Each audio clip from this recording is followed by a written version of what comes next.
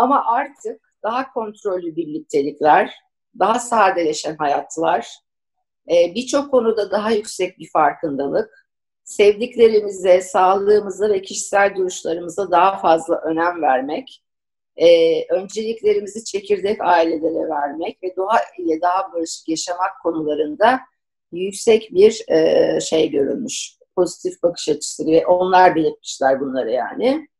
Biraz fazla üniversite mezunu olduğunu tabii dikkate almak lazım.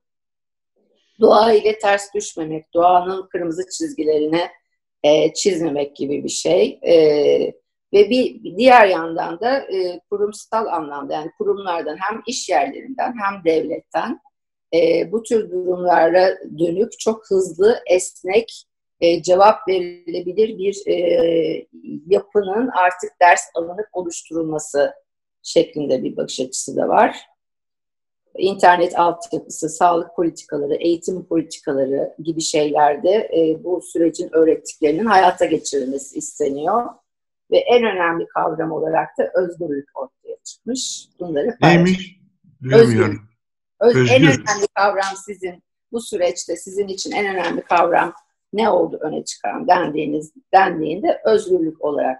Anladım. Yani hapis, hapis kaldığımız için e, evin içinde.